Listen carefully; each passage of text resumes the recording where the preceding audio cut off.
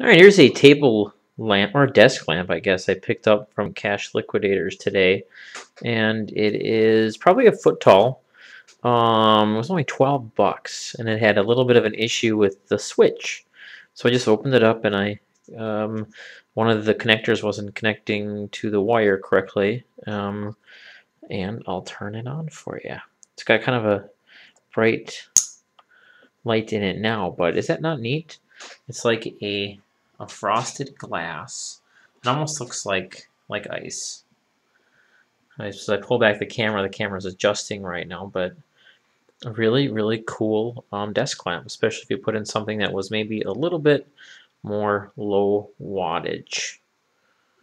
But the effect is really neat. It's that spiderweb glass on a stainless steel base. Almost looks like ice. Kind of cool. And there it is off. Not a bad find. It was a little bit of fixing.